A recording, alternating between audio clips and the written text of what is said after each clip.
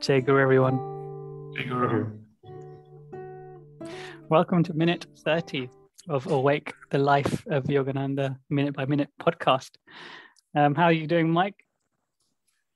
I'm very well today. Um, I feel like full of energy because I fasted yesterday. That always Good. makes give me some oh, that's it. You fasted on the right day. Yesterday was um, a day. Yeah. Uh, how are you? Uh, the right day? Why? I know it's just it's just um because it's a few days. Uh, Diwali's tomorrow uh, as we record oh, yeah. this. It is the uh, fourth of um fourth of November. Um, so yeah, so now's a good time to do uh, good spiritual practices. Chris. Yeah, yeah, good. Uh, didn't didn't quite fast yesterday, and then had a massive lunch. So you know, just at a in probably food coma and obviously. no, I'm good. All, all, all good. Happy to be here. Good. Yeah, yesterday I fasted, and today I just picked out a little bit yeah. Undid all the good work. okay. Yogananda said, uh, do not overeat. You know. uh, yeah. Yes. And then and then the stomach says, eat, eat, I want eat, more. Eat. You're gonna make up for yesterday. Who's louder? Yeah. Who's louder? do not do not overeat over a period of time or just once. I don't know. Did he specify? I'm working on that actually. Um, I think it'd be better if I was like better at like I'm really good at fasting, but I'm not good at eating in moderation when I'm not fasting. So it's like a catch yeah. 22. Yeah, Don't know what yeah. to do in life. Anyway. Swings and roundabouts, mate. You're doing exactly, good. Exactly. So minute 30, it's really about two things. Um, firstly, it's about James Lynn, who is the second president of Self-Realization Fellowship, and he is um, his uh, sannyasi name is Rajarsi Janakananda, who you may have heard about. Um, so the minute really talks about he's he's he's being narrated, so it's not him actually speaking.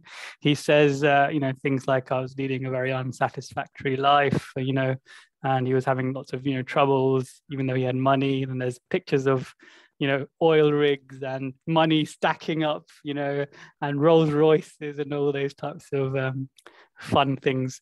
So there's that, and then the second element is. Um, um, about really Yogananda just comes in his actual voice and talks about describes the meditation posture and um, you know shoulder spine straight shoulder blades together etc and focusing on your christ consciousness center and um, joy wisdom and spiritual perception as, as the as the forms of god that are manifest in the devotee. And finally the latter part really links back into the uh, James Lynn thing again, and uh, Phil Goldberg describing the really important role that um, James Lynn played in um, self-realization fellowship. So, what did you guys, uh, without going into uh, too much detail, what did you guys think of this minute, Mike? Yeah, I'm glad they put him in a prominent spot there and really put him in the kind of um, perspective that you have to see him. Like you said, Phil Goldberg put him into a prominent spot in his book as well because he, um, what once Master knew him, um, he obviously developed very quickly as a yogi, but he also his money enabled Guruji to do a lot of the things that he did later on. For example, that India trip that he that he did later, and also like we'll see more. I mean, I'm not spoiling anything if I mention. I think you were probably going to mention Encinitas as well. Yes, so, yeah. yes, yes, yes, yes. And Chris, um, go on. Uh, yeah, he was also the second president of SRF, so that's why a lot of people see yes. his picture Yeah. So he's the first president that's not Yogananda, I imagine. yeah, uh, Chris, what did you think of this minute? He's yeah, it, again, um, to what Mike said, I think is uh, correct. It's uh, lovely to see this included in here. He's a very important part of the SRF journey, and to me, quite inspiring uh, in a sense that you know some of the words that will you know he he says here uh, in a minute. Um, there's a lot of lessons to be learned, I think, from them. And you know, he is somebody who experienced certain things and hasn't come through a um, you know uh, a very very poor background and gone into spirituality which is typically what people think of when you know they look at spirituality so he's come from the very western world into the eastern world to the nth degree so um, you know if if he can certainly do that and uh, follow the path that he did uh, and, and have have a, a, better life for it. There's inspiration for a lot of people in the West. So it's kind of kind of like a very, he's a very critical person, I think, in SRF story and the journey. So it's good good coverage. Really good point, Chris. And um, those are the questions I'm going to cover actually how we can learn from that uh, that example.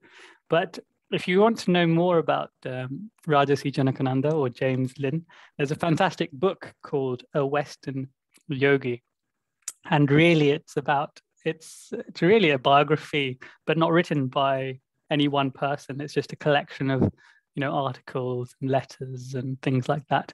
Um, and there's there's lots of um, you know absolutely stunning pictures of uh, of James Lynn and um, you know and um, and Paramahansa Yogananda. You know they're always together, hand in hand. Um, you know Paramahansa Yogananda referred to, to him as Saint Lynn, um, which kind of tells you how elevated he must have thought he was. Um, and he was actually born like only seven months before Paramahansa Yogananda, so he's a little bit older. And um, he often said that they had twin karma. You know, they were close friends and they were linked through their life. Um, that's yeah.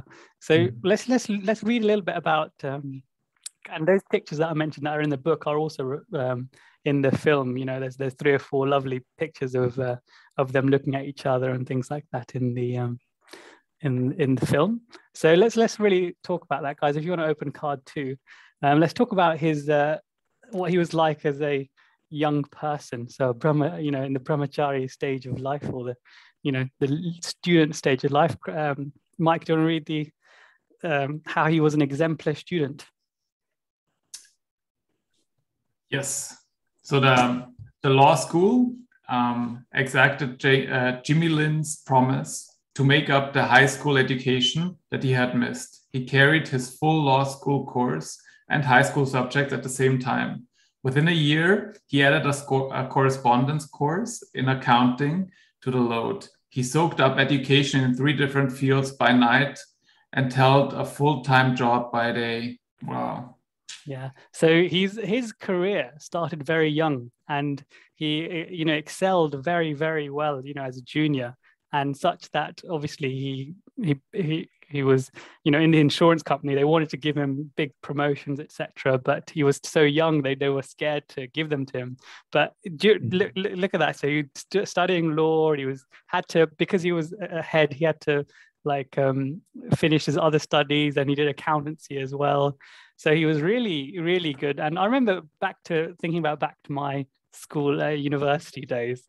You know, I I was always I couldn't do what he did. I was like, you know, I'm studying engineering, even though there's like 50 topics in engineering, but I don't want to go and study like a humanities subject at the same time. You know, I, just would have, wouldn't have, didn't think I was capable of doing that.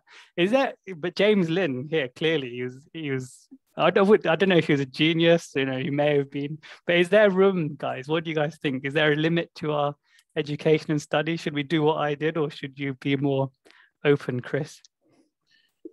You know, the wonderful thing uh, about life is the individuality of it and the, and the, um, if the difference uh, in each of us, you know, we're, we're all unique. And uh, you know he's had specific karma over over many incarnations. And uh, to, to kind of take it back a little bit he was born into relative poverty.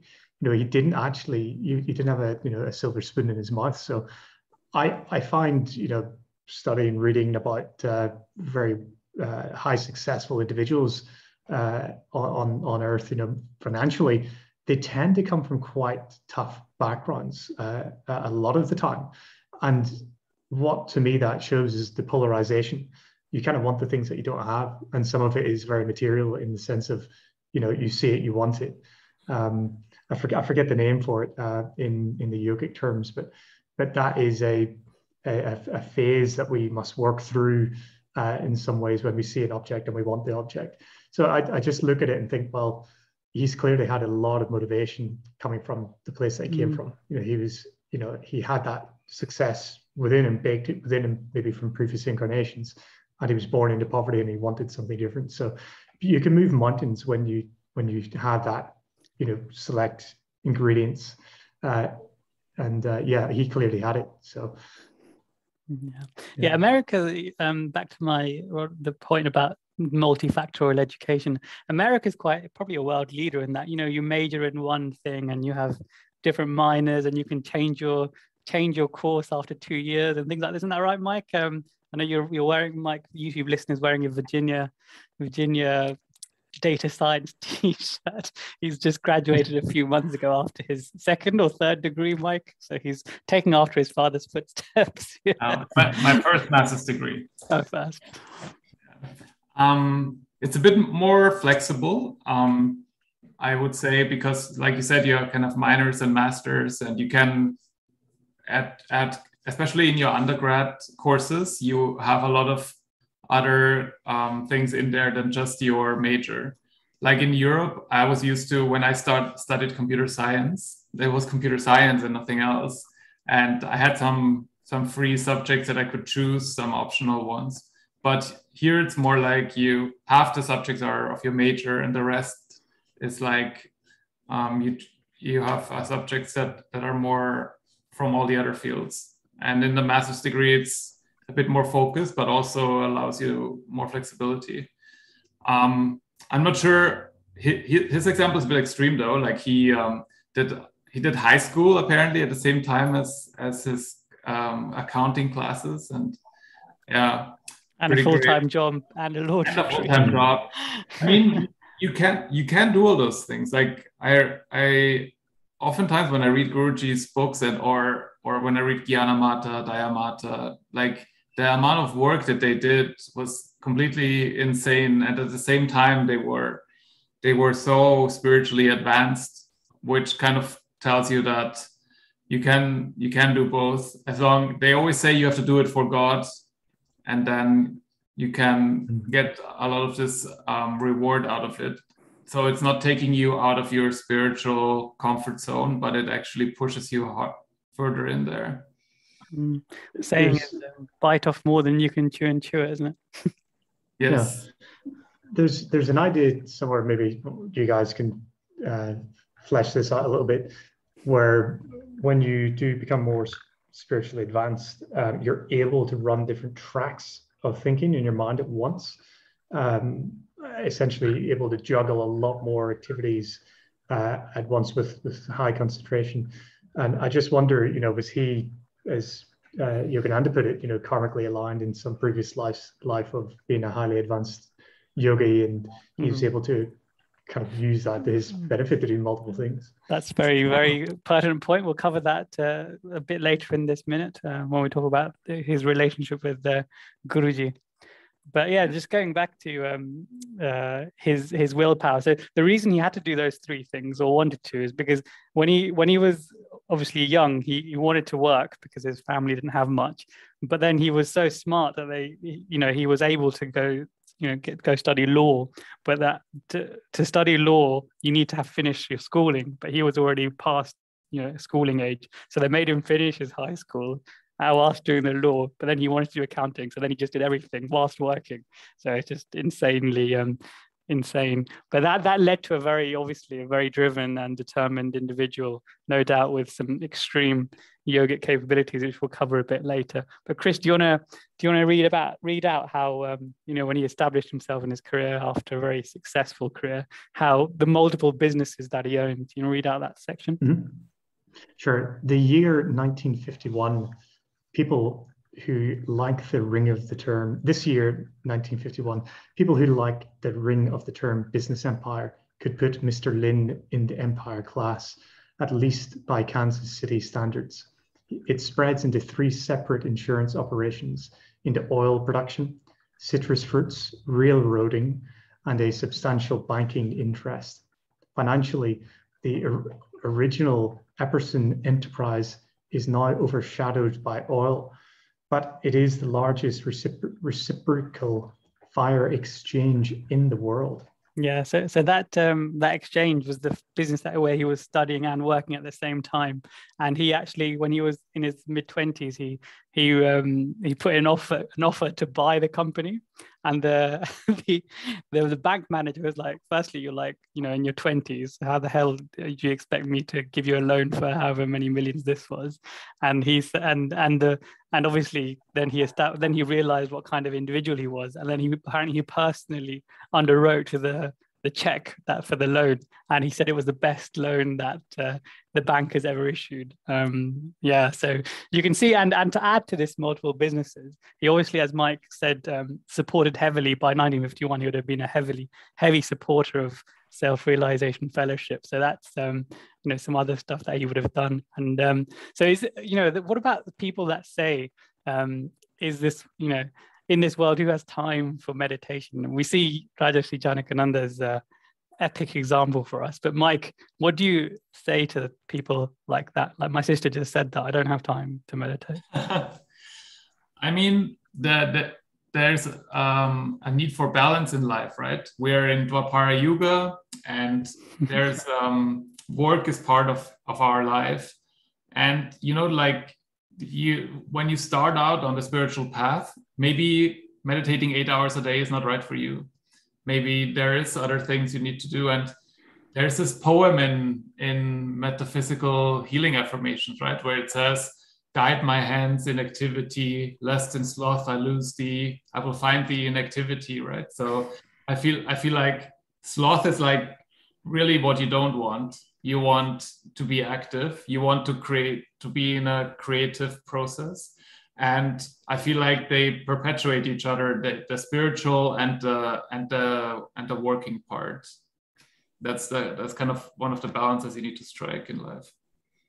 Chris what do you say to such people as my sister? She may be listening so. Uh, well, if, if she if she is listening, uh, you know, good good on good on her. Thanks for thanks for listening first and foremost.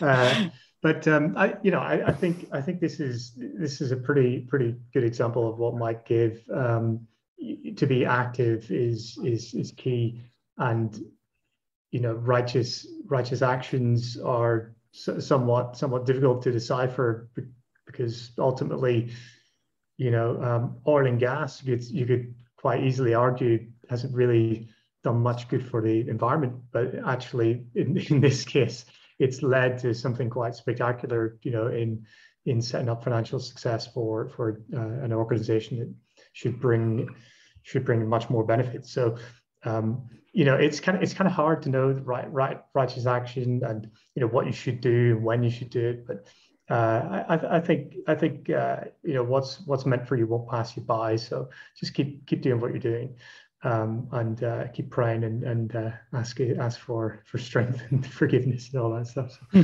um, yeah. So what I what I did say to my sister when when she um, when she said that was I said, "Do you have time for um, mental ill health or like physical ill health?" And she said, "No." I said, well, you to any any everything has a cost, and the cost of, without even talking about spirituality, the cost of physical and mental health is that you need to work on yourself, isn't it? You have to, you have to meditate, and um, yeah. So she started now, but uh, still uh, on the early phases of uh, her, her journey. Yeah. There's, there's there's a really good um, uh, part in the lessons with uh, you know the SRF where it talks about the magnetism and you know the, whether, whether you have you know, business magnetism and Lynn, uh, was originally described as a business magnet or spiritual magnet, magnetism. You know, you kind of have to put a lot of effort and focus and, and energy into either one. Um, so, you know, it's just a, a, choice at the end of the day. Uh, what is it you wish to to focus on on garnering? So you know, people get to pick their poison, essentially. Yeah. mm. On poison, let's talk about something a bit less, uh, a bit more light-hearted. So, in, in halfway through this minute, there's a picture of James Lynn in a cowboy hat and cowboy shoes, with like with his um, foot on this railing, um, like t- clapping his knee, and behind it um, is nothing other than some fields. but if you look at the book, so that's in the that's shot in the film. But if you look in the book, uh, a Western yogi, that, that same photo is there, presumably the original. And in the book, it says J. J. Lynn, D. Moss number one. So somehow, or for some reason, they've photoshopped that little sign out of the movie shot. Now, this is obviously extremely geeky, and we would only ever discover such a thing because we're doing this minute by minute analysis. And in minute 11, when this um, when this came along, you know, when this what the shot was actually in minute 11, sorry, uh, we talked about this. We didn't know who it was, but we now know who it is. And um, why do you, guy, uh, Mike, do you have any theories as to why they photoshopped that sign out? mm. maybe, maybe they would have thought it a distraction in the context, but I, I don't really I don't really know what, why things like that happen because I, if I if I was probably releasing this book, I would have probably left it in, um, because it kind of shows the kind of environment and stuff that was there. But now I don't really know why they would. Chris, I know you had a this interesting theory on it. I, suppose I'm questioning myself now. Dean Moss, uh, is that North north uh, N01. I thought maybe this was some sort of address or this was going to be something that identified a loca location um, or something that the people in maybe James Lynn's family that uh, maybe they wanted removed uh, in giving permission for it. They they said, okay, well maybe you can use this, but you can't use that. That was a theory of mine. I I it's just shot the dark. I have no idea. We have no clue. So, really, really, listeners, if you watch minute eleven, there's a there's a little picture of Jim James Lynn, and it comes and goes. We talked about it before, but we don't know why that sign has been removed. So, if anyone knows, if anyone is geekier than us, which I doubt there is, then please do comment and let us know. Let's talk about You've done now. it very well as well. Yeah, you, you have, would never yeah. notice. Yeah, uh, yeah, true. Good job. Um, right. So let's talk about um, now the relationship between Paramahansa Yogananda and uh, Rajarsi Janakananda. So Rajarsi Janakananda became Rajarsi Janakananda in um, in 1951 when he took his sannyas vows and got initiated to them through Paramahansa Yogananda. Rajarsi means divine power, and it's the name of the Lord in respect of the cosmic mother. In another Sanskrit etymological meanings, Rajarsi also signifies the king of the saints. Um, I think this is described in the autobiography of Yogi, like Raja Rishi. Rishi is a saint, and Raja is obviously king. And Janakananda means the bliss of Janaka, and Janaka was a great king as well as a fully self-realized master of ancient India. So a very nice name that he was uh, entitled. Um, but let's talk about uh, Yogananda and um, and um, and and Rajarsi Janakananda. Uh, Chris, um, sorry, Mike, do you want to scroll down to on on minute on card four at the very bottom? I've got you to read something out there. Said you are a Hindu yogi. Yes. You are a Hindu yogi of Himalayan hermitages of the past, appearing in this life as an American prince, a Western Maharaja yogi that will light the lamp of self realization in many groping hearts. In him and in a number of others in the West, has fulfilled a prophecy uttered by our great master Babaji of India, who said in 1894 the vibrations of many spiritually seeking souls in the West come flood like to me. I perceive potential saints in America and Europe waiting to be awakened. Europe, yes.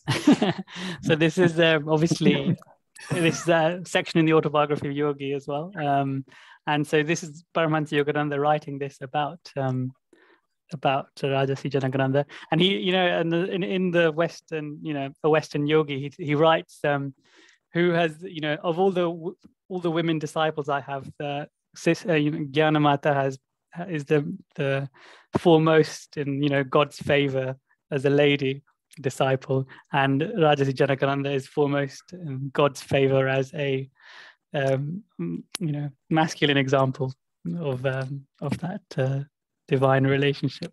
So uh, very um, very profound there. Uh, very touching words that uh, Guru would write, and he would have actually been, you know, they both the, the first autobiography was released, and Rajarsi would have actually read this description of him. Um, and you know, as as we said, they were very close friends. Um, Chris, do you want to read the second part that uh, I've got now? Yeah. I know how religiously Mr. Lynn conducts his life. He doesn't drink or smoke. He follows a simple diet of vegetables and fruit juices. He leads a celibate life. He doesn't go to the movies. For recreation, he sits on the grass and meditates on the divine. His whole existence is an exalted one. Even though he attends to heavy business duties and is required to travel extensively in connection with his business responsibilities, he has had many temptations thrown in his way, but he has not succumbed to them. He has felt that joy within which is greater than anything the world can offer. Lord, thou art more tempting than any other temptation. Wow. So very elevated um, soul, as you can see, very simple. He used to like, apparently, he used to like spending a lot of time outdoors. And a lot of pictures you'll see in the Western yogi, you'll see that he's almost very scantily dressed, just very, you know, just a little loincloth over his um, lower region. And he, um, so he obviously used to love getting the solar energy out of uh, out of the, sky and you know get that get that contact. Um did you what do you guys make of all these lovely pictures in the film and in uh, in the book uh, mike? Well you see some of them you see Rajarsi together with master and this amazing friendship that they had. So they always smiled together. Um, there must have been a really nice vibration. Um, and then in in the book you you keep reading that they kept right when they were in different places they kept writing each other letters which is like the equivalent of today writing each other whatsapp messages or something like that right?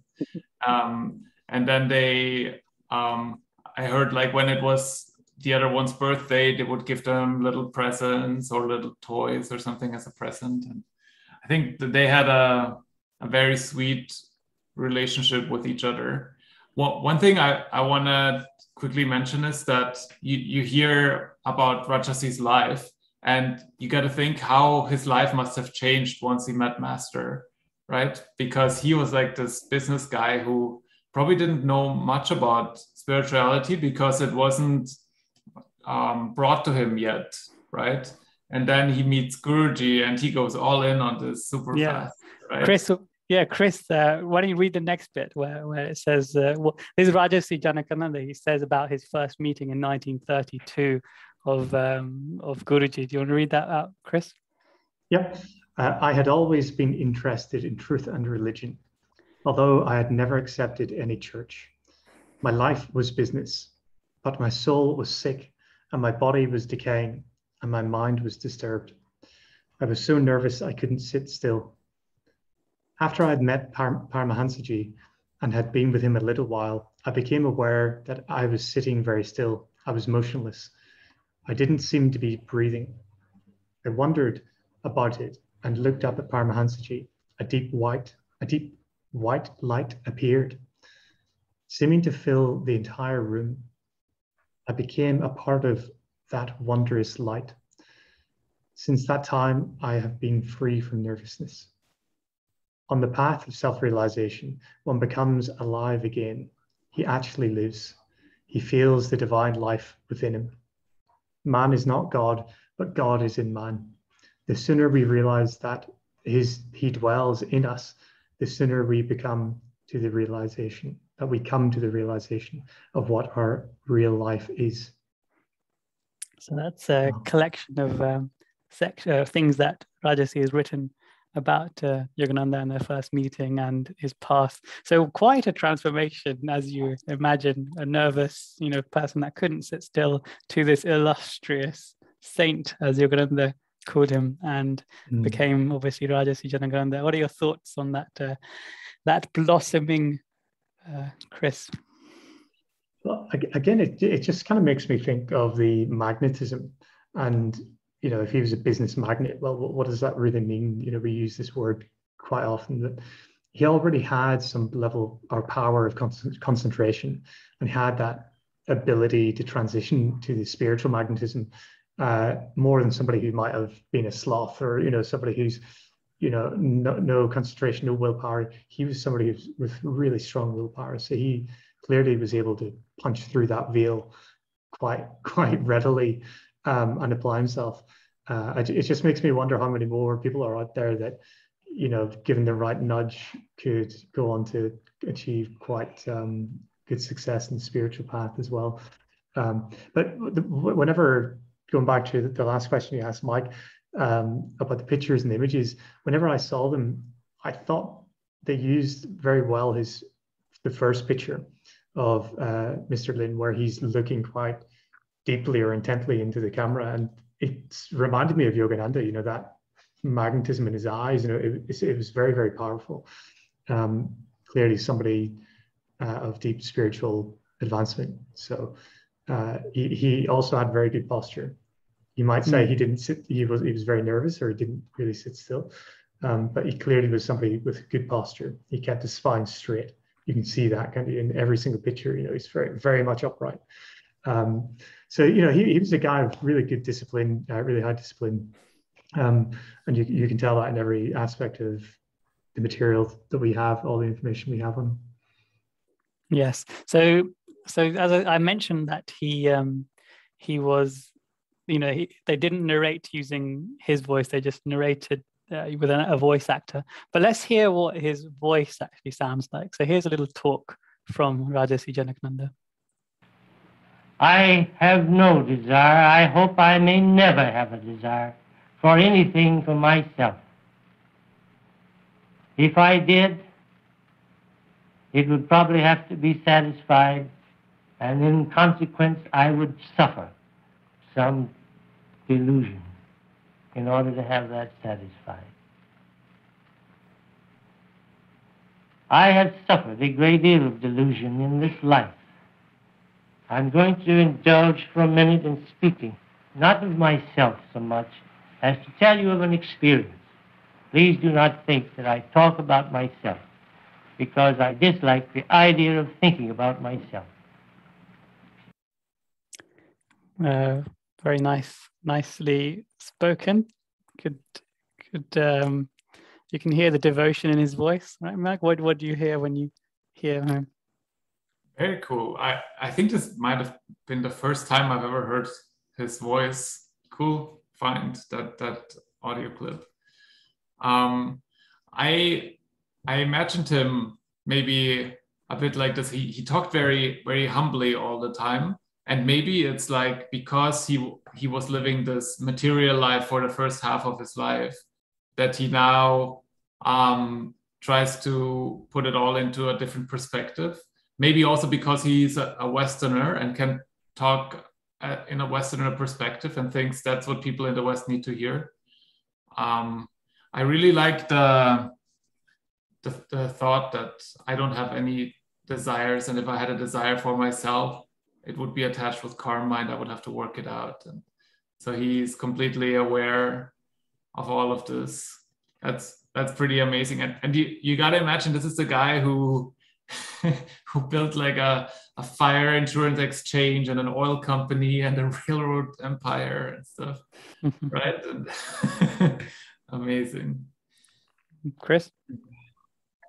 Yeah, again, uh, what Mike said, 100%. He's he, he mentioned the word illusion, and to me that rings true of somebody who really can see through that that veil.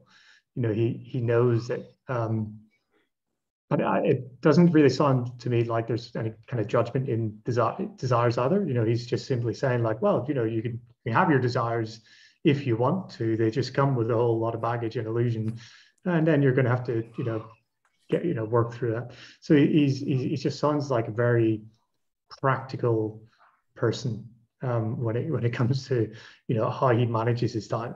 And I'm sure Guruji loved that, right? Because Guruji was all about, you know, manage your time wisely. Like don't don't waste your time. Don't don't, don't sit idly. You know, be active, act now. So um, I can see why Guruji would have had a lot in common with this this soul.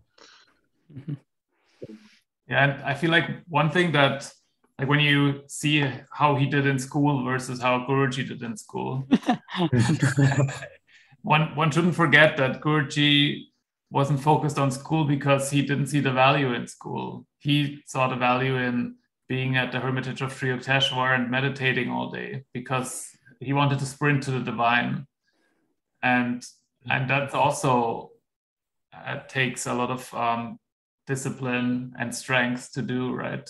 So he he wanted to sprint his way to the infinite, and that's not easy either.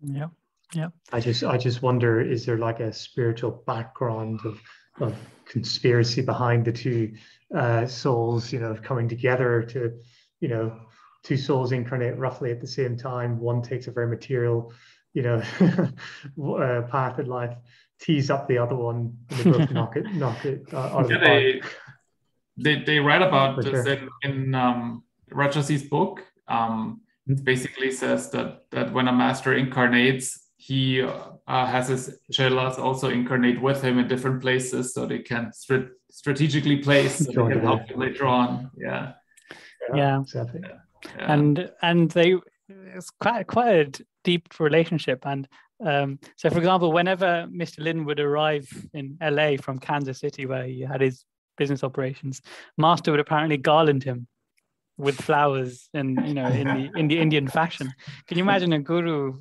garlanding a devotee that's uh, that's quite profound isn't it Mm-hmm. Um, that's a pretty rare relationship, such as that they have. And Yogananda said of their relationship, some some say, some people say the Western man cannot meditate.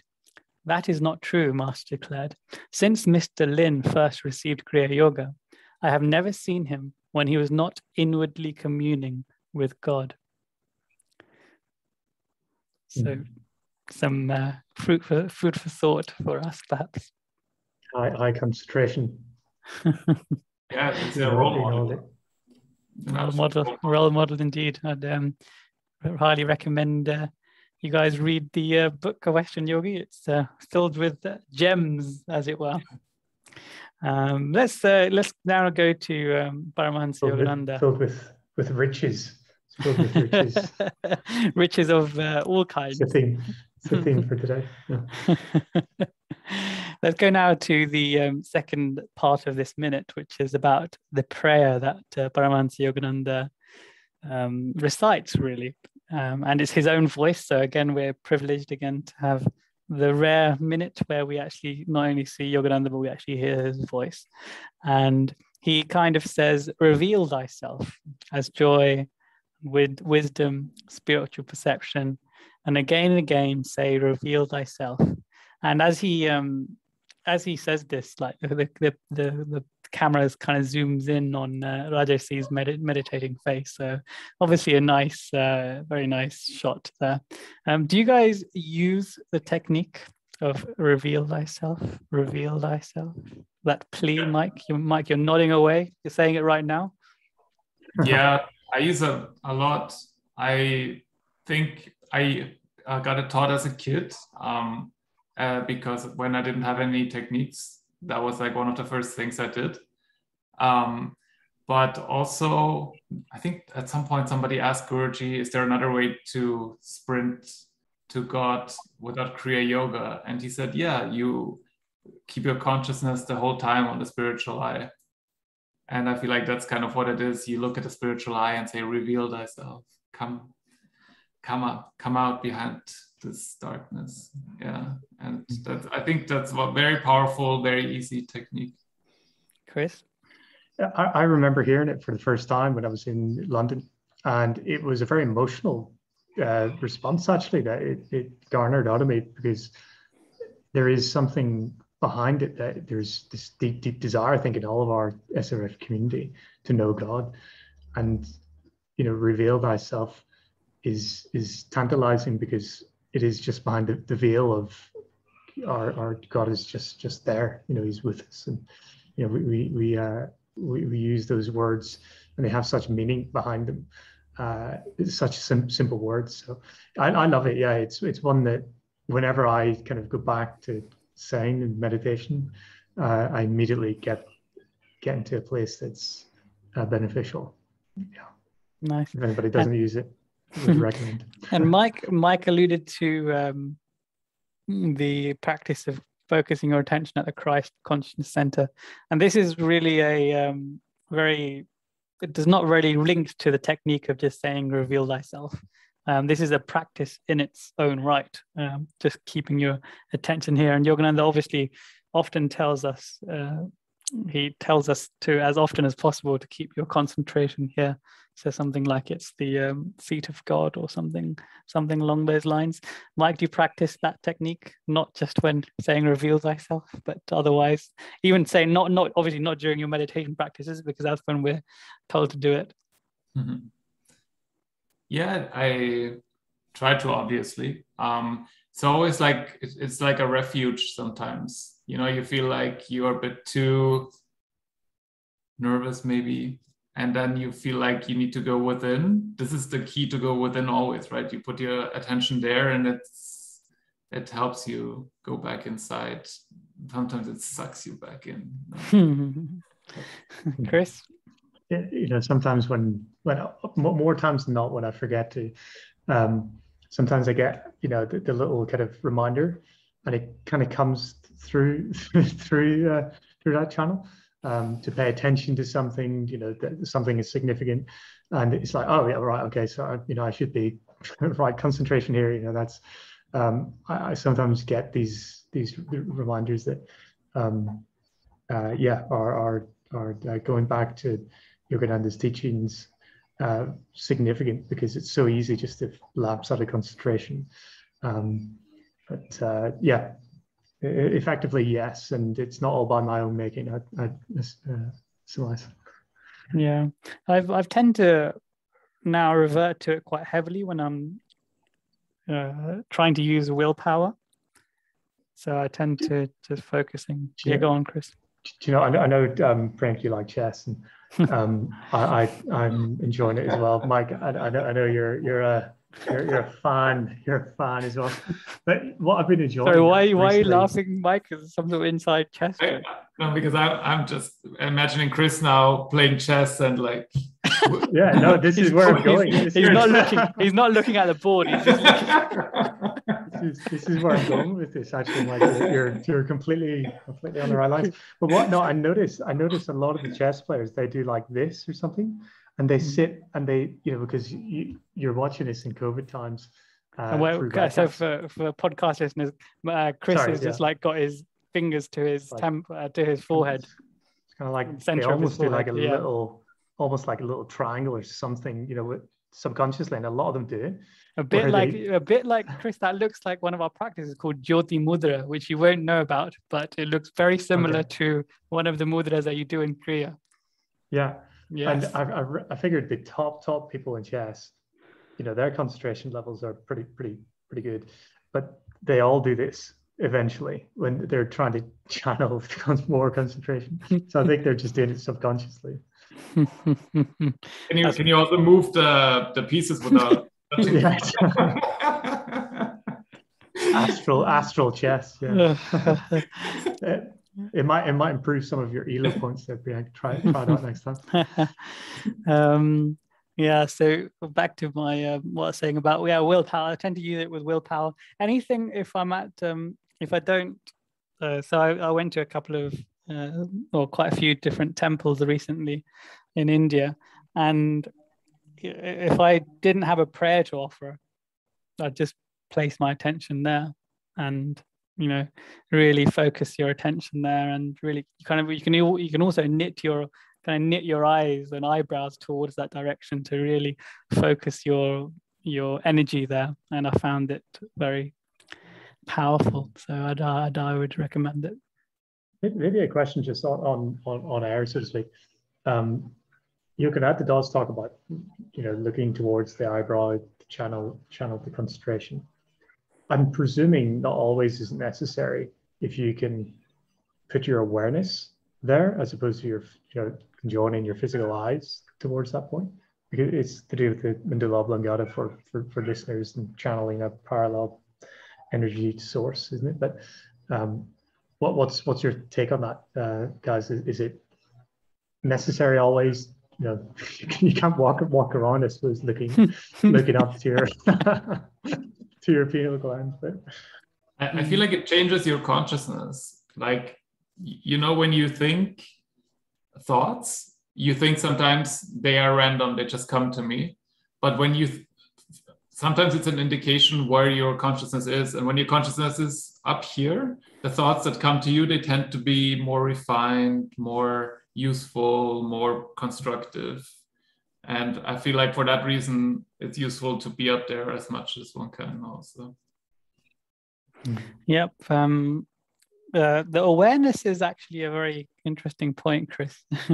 Chris is uh, Chris is doing the mudra now.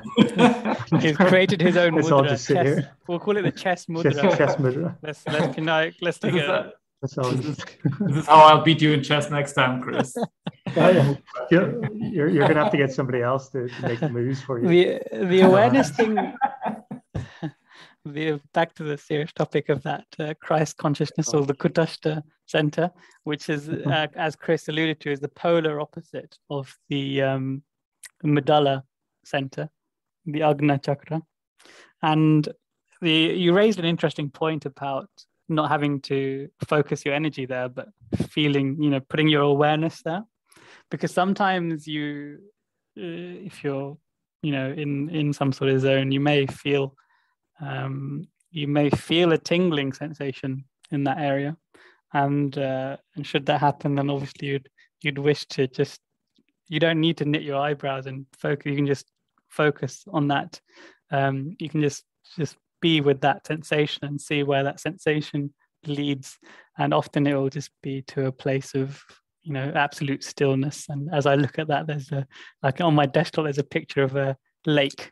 And i'm imagining a very still lake you know the lake of your mind or manasarovar um but yeah so it's um it's a quite a powerful powerful tool to use any any any part of those things that um, Yogananda's talked about in this prayer. So really, he's, he's, actually told us some techniques there. So if you listen out in in this film, there's techniques all over the place. Like reveal yourself is one. Uh, focusing your attention at the Christ consciousness center is is a technique in itself. Um, you know, someone mentioned, someone asked on our Facebook channel, uh, where can I? I don't have I don't have money. Like, where can I get Kriya?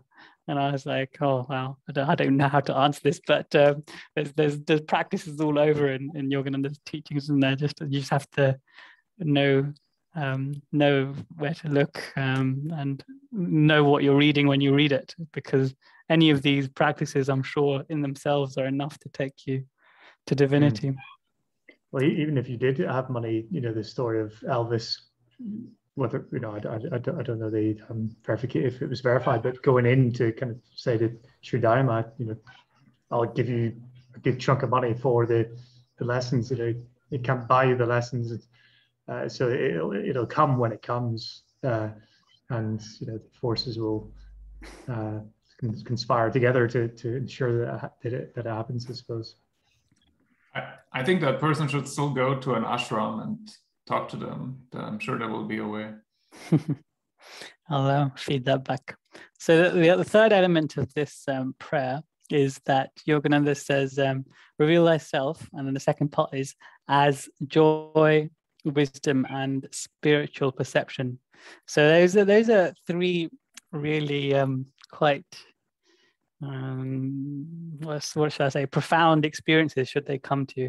If you see if you experience divinity as joy, first of all, um, which which many of us can do experience in meditation, as wisdom, and not just uh, regular wisdom, but divine wisdom we're talking about here, and spiritual perception. Each three, obviously, quite different and unique. Um, do you? How do you guys feel about seeing divinity as these three elements, Mike? Um, I feel like joy is the thing that is oftentimes attributed to it more than wisdom. Um, I feel like wisdom is something that is sometimes attributed maybe falsely to the intellect um, because it gives you this ability to think things through. And then once you thought it through, you know how to handle it, but then it's not always so easy, right? And wisdom through, through um, divine perception is is a different thing. It is basically Guruji telling you what he thinks you should do, and that's the right way to do it. Um, I think they're all equally um, important. And spiritual perception, I think, in this context, probably means like experiencing God, right? So that's that's like um, all all those three things I would like to have. Yeah. I'm sure you we each have them, but in such subtle ways that um, they're not easily identifiable as manifest. For example, um, if you compare yourself to how you were one year ago, or five years ago, or 10 years ago, in each of those categories, and I'm sure this applies to each of us, you'll be pleasantly proud of yourself and surprised and happy. Mm. Chris, what do, what do you feel about these three triune um, manifestations of divinity? I, I think to, to your points there, they come in fleeting glimpses initially, and with time and persistence, they would stay more constant in, in one's life. At least in theory, that's how I understand it. Um, until until I get to that point, I uh, I went to the material sense and got a canal boat and called it joy so that I was in joy all the time. Um, but, uh, Very uh, nice. yeah, but you know, um, I, I, I, think I think these are, as Yogananda puts it, the, the natural state of human beings, um, and we we have to work diligently to try to get back to those states. Um, over many lifetimes, we fall out fall out of the way of that. Um, yeah, I, I there, there's such simplicity to it, isn't there? When when I first heard it, I thought, oh, is it really you know joy? Is that how to surmise maybe love or ecstasy? You know, is, is joy really sufficient? You know, I kept I kept like that. That was my first initial thinking when or feeling when it came to me. But the more joy, the word joy um, uh, resonates with me. It comes with peace and lasting, everlasting. This joy is there's something very eternal about it. So uh, it's it's definitely you know grown on me in a sense. The, the more I meditate, um, the more I see that to be true. Um, and uh, yeah, uh, there, there's definite. Um, I you know what what actually actually struck me whenever you were speaking earlier was uh, I wonder again to how much activity there is in the world uh, that is is wasted activity uh, without joy, without divine wisdom uh, and, and, so on. You know, what actions would we be taking? Uh, we're all chasing something. You know, um, uh, Mr. Lynn said himself he had such material wealth, but still very unsatisfied.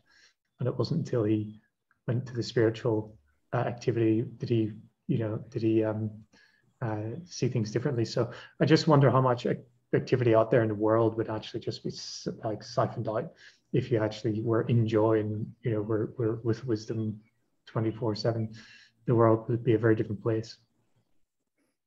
So, yeah, I fantasize about it sometimes. Mm-hmm.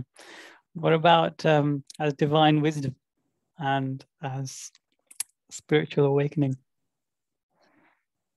So, yeah, knowledge was there, there's good sayings that I can't really pull to the top of my mind right now about wisdom, but um, uh, you know, wisdom might be uh, you know knowing what which which end of the knife to hold, kind of thing, um, uh, and uh, so you don't end up hurting yourself with with with it.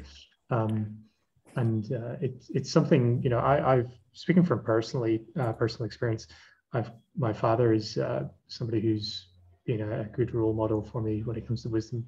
Very fortunate uh, to have that, and it tends to be for me um, acting out of a place of calmness and peace, uh, and then going forth in the war into the world uh, and acting acting accordingly, because there's um, a lot of restlessness, and that with uh, without wisdom, without this peace and calmness, uh, yeah, causes causes a lot of uh, you know illicit activity.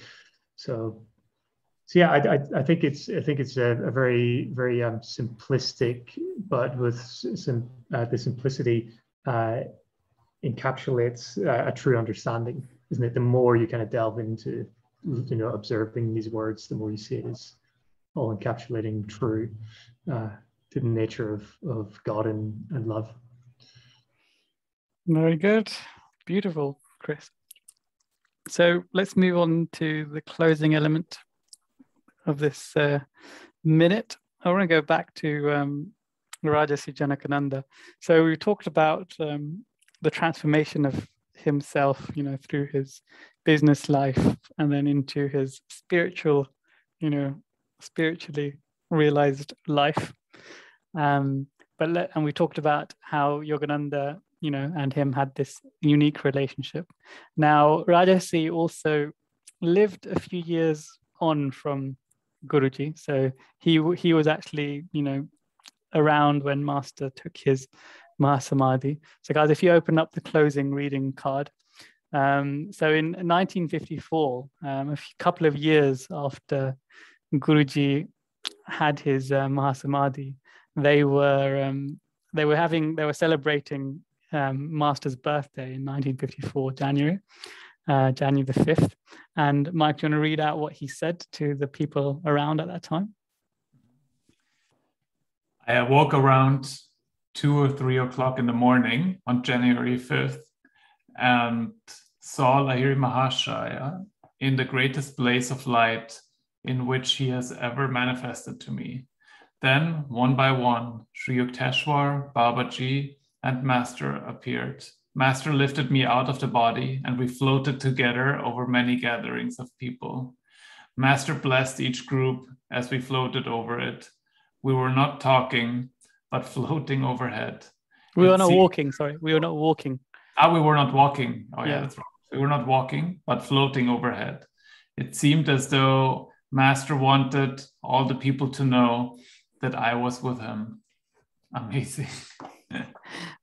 yeah. So this is uh, quite profound. So before we read how when Yogananda first met uh, um, uh, Rajarsi Janakananda or James Lynn, he had this experience of light, you know, filling the room, etc., and this amazing stillness that he had. And obviously, that in itself is quite profound. So, no doubt through their lives, they would have had shared lots of spiritually munificent uh, moments. And this is probably quite. Uh, quite up there, isn't it? Out of all the experiences I've heard from direct disciples of Yogananda, this deserves a place in the autobiography of a yogi, does it not, Chris?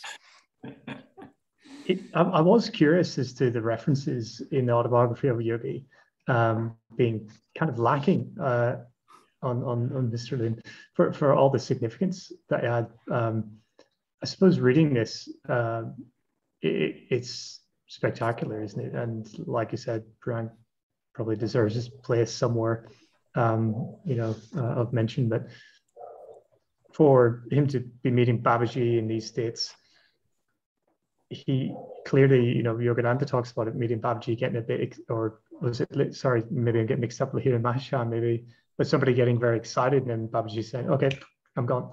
You know, you, you know, your your mental activity is kind of like a whirlwind and kind of blowing it, blowing him away. So he was obviously very, very advanced, and um, yeah, it's it's beautiful just reading this reading this story. Mike, I think you were quite blown away by your own reading. Now you've had time to absorb it. How are you? How did it feel for you? I mean, what an experience! Right? I mean, come on. I mean, it's obviously January fifth, uh, Guruji's birthday, right? So yeah.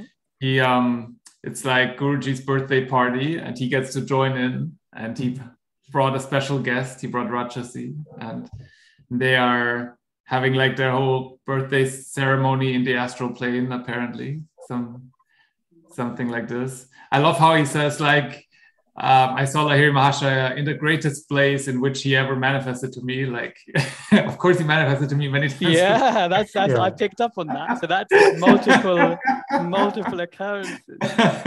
and you know, our our monks rarely talk about their spiritual mm-hmm. experiences, and you know this i think he the presidents are given a special dispensation to talk about their um, spiritual experiences. And and you know, Dayamata also talks about you know when she went to Babaji's cave and how he manifested himself to her and revealed you know various things about humanity and things like that, and which is obviously beautifully expressed. So these are rare, rare gems that we get. So because they're the, pretty much the presidents are the only ones which openly um, talk about them. But no doubt the other monastics may have had this and other experiences that we know not of. But if you do, guys, listeners, if you know of any equally beautiful stories such as this, please do um, share, and we will also mention them in the coming podcasts. Um, that pretty much sums up the minute. Um, does anyone have any other business before we uh, read some last passages? Chris? No, not really. Um, I, I, I, think you know this is a character, you know, or a character, bit of a demeaning way to talk uh, you know, this this great great uh, soul, but um, somebody who really was held dearly in the heart of uh, Yogananda, and uh, you know, whenever I look at look at this individual, as I said at the beginning, there's so many, so much great wisdom that comes from him, uh, and you know, he was somebody who lived righteously and really sought God out, and eventually came to it. And there was something said in the minute where uh, he said, "Oh, um, initially I was skeptical. We all were something like this," um, and that just shows that even with the initial skepticism, following the processes and steps that Yogananda laid out, he was able to to, to get to this great satisfaction of, of knowing knowing uh, knowing God, having union, uh, and it's just a great story, isn't it? Um, so much inspiration in this Western world, and Yogananda calls him the, the Western yogi, uh, or, or, so on. So yeah, it's it's it's a brilliant um, brilliant uh, role model for us. Chris, uh, sorry, Mike. Um, I'm glad the the movie basically because we're doing minute 30 today, and minute 30 starts exactly with talking about Rajarsi, and it, it kind of lasts exactly a minute. So it gives us exactly a full minute to talk about Rajarsi, which fits perfectly. Um, one thing I, I, feel like we have to talk about a little bit is uh, Chris's spectacular background that he has there, and where he just opened the window to this jungle paradise behind him. Yeah, it's, it's getting hot. A little weather update for you guys. I know it's been a while since we've done one in Brazil. Still, yeah, this is uh, this is a, a, yoga retreat in in Brazil. Uh, my fiance's uh, dad has been building it for for some years, so um, just been been uh, riding off their internet, uh, hijacking that for the for the last hour or two. You know, it's a different backdrop if you see the monkeys, they, they love to jump through those bamboo trees uh, behind me. There's a little family of them come and steal the banana uh, straight nice. out of your hand. Nice. Yeah. Share some pictures of those. We'll put them on our social media. yeah. um, yeah. So before we end, let's just have a quick, um, quick sum, not summary, but a quick bit about um, his last, uh, his last moments of his uh, of Rajarsi Janakananda's life. Um, and I've found a section here which I'll read out if I may. Um, his last day finally came, and he, he was he had you know he had a he had a, he was suffering from illnesses. He had a tumor and things like that over the last couple of years. And uh, apparently, Yogananda said that. Um, well, he said he was ready to leave, and Yogananda kind of encouraged him to to stay on. Um, this was obviously a few years before he actually passed away. So it was in uh, February 20th, 1955, 1955, Daya Mata, Mrinalini Mata, Sailu, Saila Suta, and Durga Mata were with him. Durga Ma held his hand in hers to the end. Rajarsi, the illumined yogi, merged into the light. Even outwardly, a white light began to surround his head. Hmm. The light kept getting brighter and brighter around it. Then his breath vanished. Yogananda's little prince was in eternity. As Yogananda had told him, the infinite kingdom is yours. Jai Guru. Jai Guru. Jai Guru.